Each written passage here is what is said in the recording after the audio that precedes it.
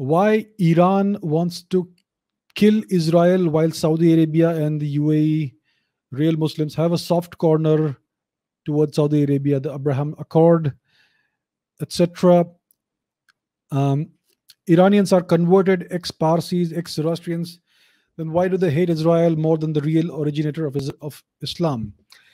Okay, interesting question. See, it's not about religion at all. Religion is just a pretext. You're right. The Saudis, I mean, Arabia is where Islam was born. And if you look at the way the geopolitical moves that Saudi Arabia is playing today, it is getting closer to Israel. It no longer views Israel as a mortal adversary. The Abraham Accords have happened. UAE and Israel have now opened efficient, uh, official, cordial diplomatic relations. And the Saudis are very much on the verge of also normalizing their ties with Israel. So, where does that leave Iran? And, and why is it so? That's the question. So, why are the Saudis now very happy? If, let's look at the geography. Here's Iran here. Here is the Arabian Peninsula. And here is this little country called Israel. So Egypt has long had reasonably good relationship with the Israelis, and now the most of the Sunni Islamic world is normalizing its relationship relationship with Israel. But Iran is still hell bent on destroying Israel. So, what is the cause of this? That's a very good question. Very good question. It all has to do with the geopolitical ambition of Iran and the geopolitical ambition of Saudi Arabia. See, the Saudis have never had this expansionist uh, agenda. All the Saudis have ever wanted is to live in peace in Saudi Arabia and enjoy the incredible profits that this oil business is bringing in for them. They have the highest, one of the highest living standards in the world.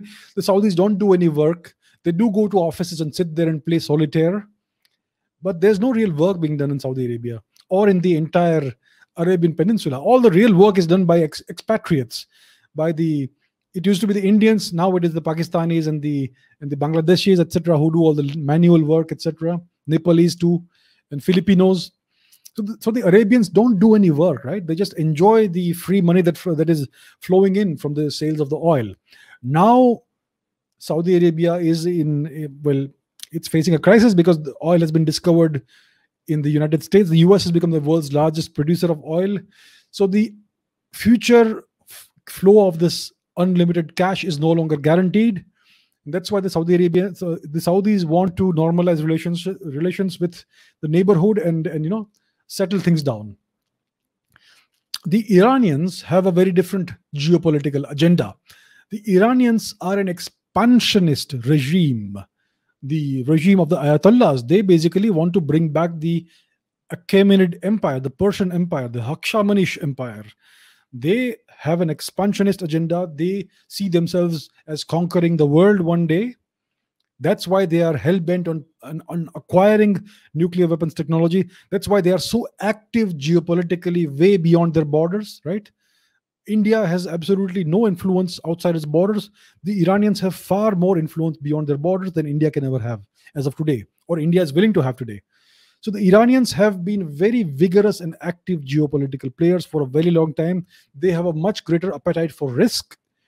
And that's why they see Israel as one of the major stumbling blocks against their long-term geopolitical ambitions because as long as this jewish state exists there especially a jewish state that has nuclear weapons then iran's long-term geopolitical ambitions will never be fulfilled especially when you have pakistan and india next door who also have nuclear weapons so pakistan may one day maybe in the next 50 or 100 years reunite with india but iran wants to basically take over the world and Israel is a big problem for them, and so is India actually, and so are the Saudis. So that is the reason why they are hell bent on destroying Israel. That is the real reason. Reason. It is not about it's not about religion. It's about their long-term geopolitical ambitions to rule the world.